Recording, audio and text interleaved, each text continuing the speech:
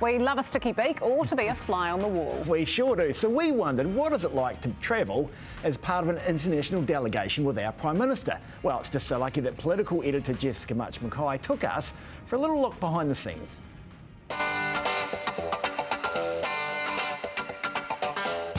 Usually, you get to see this. Kia ora koutou, everybody. But you don't always get to see this and how we got here. Enter the Defence Force 757.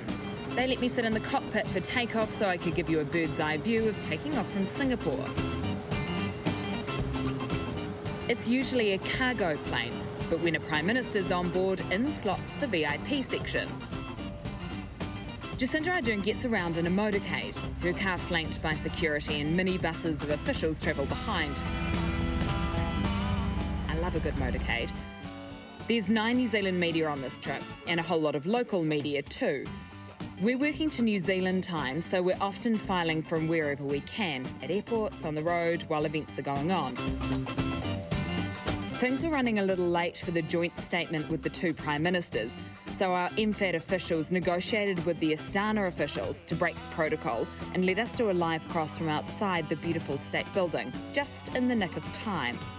Add in sweltering heat, and there's a bit of powder used, let me tell you. And that's the Prime Minister and her officials.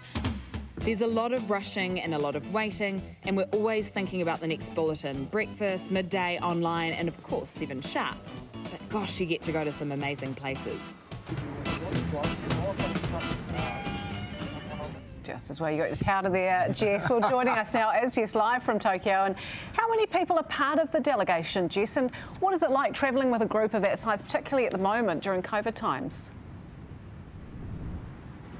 Yeah, it's definitely strange travelling in COVID times. And I spent a lot of years before this doing these trips really regularly each year, you know, maybe half a dozen to 10 times a year. And this time it did feel different. And I think we were all a little bit out of practice of how to do it. There's about 50 people on the trip, and that's the Prime Minister and her delegation of officials and staff. And then there's the, and I'll do this in descending order of going down the Air Force plane. Then there's the business delegation who sit in the business seats in the middle, and they're trying to network over here and trying to build those connections. And then there's the media that sit in the middle, and, and there's only a small group of us, but we get quite a big section of the plane, luckily. Maybe they like to keep a bit of distance between us. And then the Defence Force staff as well, who get us over there and bring us back. So, yeah, it's, it's a bit of a shared experience on these trips, that's for sure. I Was very impressed with the Prime Minister's seating on the plane, Jess. Unlucky you didn't get the same seat. But how many events are packed into a day? Can you describe some of the formalities? Yeah, it's a lot, and they're back to back. They're trying to squeeze in as much time as they can. And unfortunately, on this trip, we're not in the motorcade. So what we have to do is leave a bit early from the event, scarper to the next event in our media minibus, and then wait and then get the pictures of the Prime Minister arriving at that one because she's got a motorcade, obviously, that zips through cities like Tokyo. Tokyo. And for us, it takes us a little bit longer to get there as a normal person on the street. So it goes back to back. And because of the time difference, we're still very much operating on New Zealand time. So like tonight after this, you know, usually in a, back in New Zealand, we'd be heading off for the night and tucking my little girl into bed, but instead we're off to an event um, for a few hours tonight. That's due to wrap up about midnight New Zealand time. And then because of the time difference, for breakfast for us, that's about five o'clock in the morning Japan time. So you do end up kind of not being able to squeeze too much sleep in between, but you know, it makes for some some pretty bonding moments on these trips when you're feeling a bit delirious. Speaking of other reporters that I'm sure you bond with, what kind of access do you guys get? Look, it's pretty normal access to what we get from the Prime Minister on a day-to-day -day basis.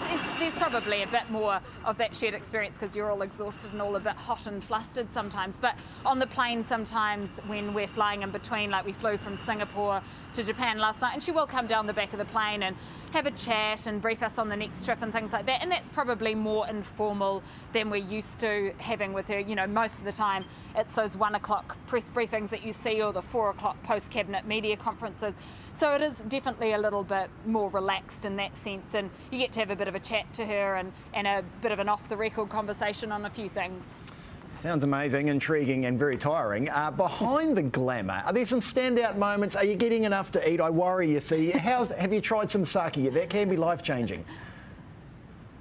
I'm, I'm so glad I'm making it sound glamorous. This is good. I want to. It's amazing. We're so lucky to be on the, these trips. And I'm travelling with um, Scarlett Wild, and it's her first trip overseas. And that's really cool because it's such a reminder of all the amazing things we get to do and the places we get to go to. And because the Prime Minister's there, they tend to shut them off. So we get access to these amazing monuments and buildings and places by ourselves. And it's really cool. I mean, one of my standout memories of my whole career is when we went to um, India and they shut off the Taj Mahal for John Key and we were able to wander around it. And it's just those moments that you would never get in any other lifetime. But don't you worry, we're being very well looked after by the Ministry of Foreign Affairs and Trade officials and they get, are getting us lots of bento boxes. So, so don't you worry about that, Hayden. Thank you for your concern. Sounds amazing. It's like a modern day slideshow when someone's come home from holiday. Enjoy your time over there, Jess. Stay safe.